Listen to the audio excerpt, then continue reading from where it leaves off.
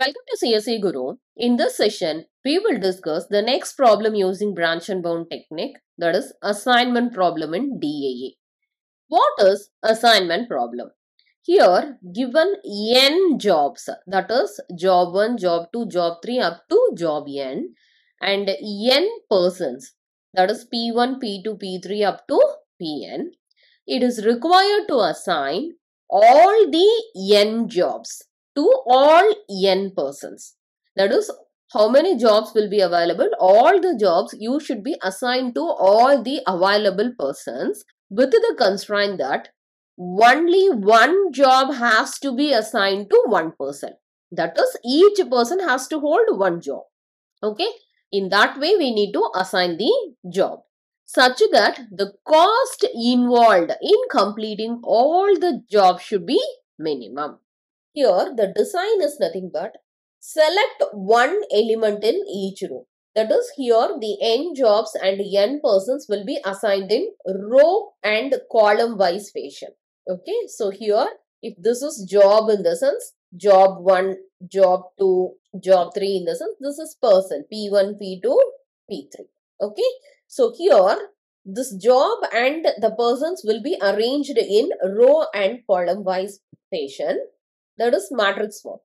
So here we need to select one element in each row of the matrix so that no two selected elements are in the same column. Okay. So same column you should not select two elements. That is the constraint. Okay. And their sum is smallest possible. That is the design. So this is nothing but the procedure to implement assignment problem. And this assignment problem can be implemented using best first branch and bound technique. Okay. So what is best first technique in the sense? First construct the state space tree. And this assignment, branch and bound technique, all we are going to implement using state space tree. The backtracking and branch and bound technique, both the technique solves the problem by constructing the state space tree. Okay. So this best first branch and bound technique also, it will construct the state space tree by considering the initial lower bound value and that will be considered as level 0. So I already said the job and the number of persons will be arranged like a matrix format.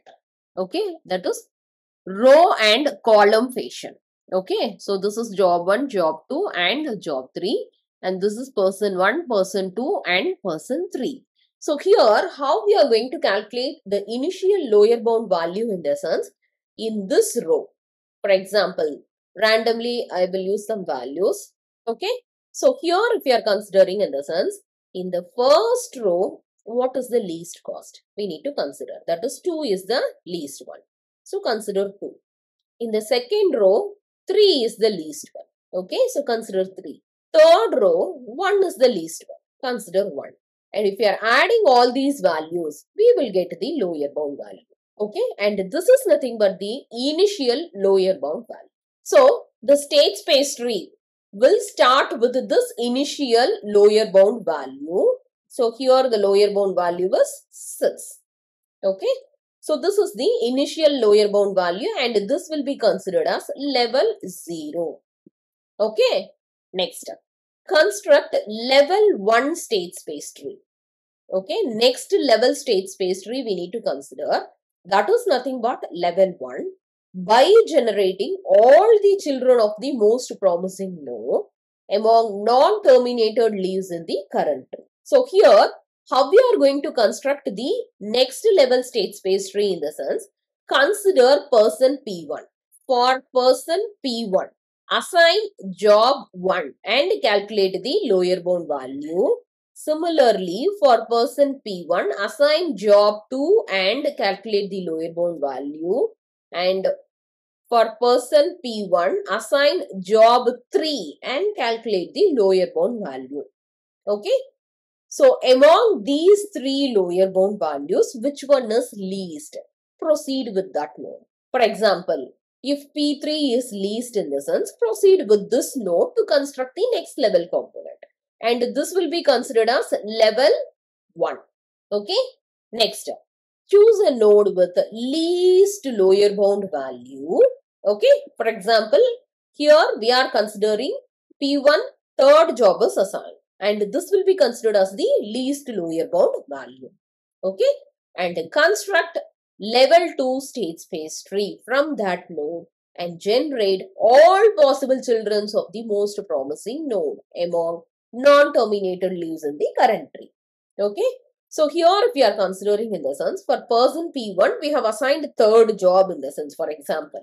Okay, we have assigned third job in the sense the same row and same column you should not assign any other job to any other person. So for person P2 only two jobs is available. Okay, that is job 1 and job 2. So consider here for person P2 assign first job and compute the lower bound value. Similarly for person P2 assign second job and compute the lower bound value. Okay. Third job, no availability because third job already we have assigned to person P1. Okay. Now, among these two lower bound values, which one is least? Proceed with the next level component. And this will be considered as level 2. Okay. For example, I am considering for person P2, this is the lower bound value. Assigning the first job to person P2 is considered as the lower bound value in the sense. Proceed with this for person P2, if I'm assigning job 1 in the sense, the same row and same column, you should not assign to any other person. So for person P3, only this job is available. That is job 2. So for person P3, assign job 2 and this will be considered as the lower bound. So construct level 3 state space tree and so on. So level 3 state space tree, what is the remaining job that we are going to assign to person 3? Okay. And we will compute the lower bound value. Suppose here we have considered three jobs. That is if more than three jobs in it will proceed to one more next level component. Okay. So however possible, we have to construct the state space tree by considering the next level component. Okay. But here, according to our example, here we have considered three jobs and it have proceed to construct only three level components. Okay. With this, the state space tree end up. Okay. So construct level 3 state space tree and so on. We have constructed the level 3 state space tree and with this we have assigned the third job to third person. Okay. That is job number 2 to third person. Okay. So once a final state space tree is constructed in the sense, choose the solution node.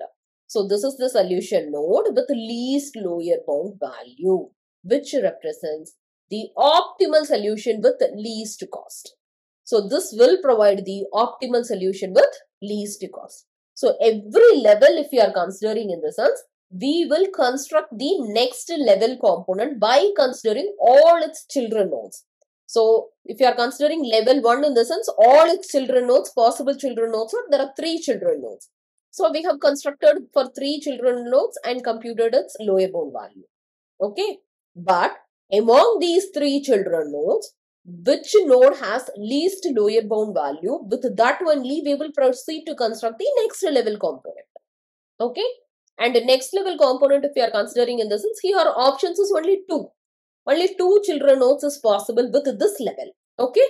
So we have constructed. And among these two children nodes, which one is which one provides the least lower bound value with that node, we will proceed to construct for the next level and the next level only one possible children node. Okay, and we have constructed it.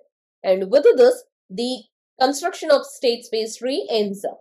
Further, there is no component to proceed to the next level state space tree. Okay, so here itself, the state space tree end up. Meaning is, we have reached the final stage of the state space tree. And this is nothing but the optimal solution with the least cost. And this is the least lower bound value. Okay, so this is nothing but best first branch and bound technique.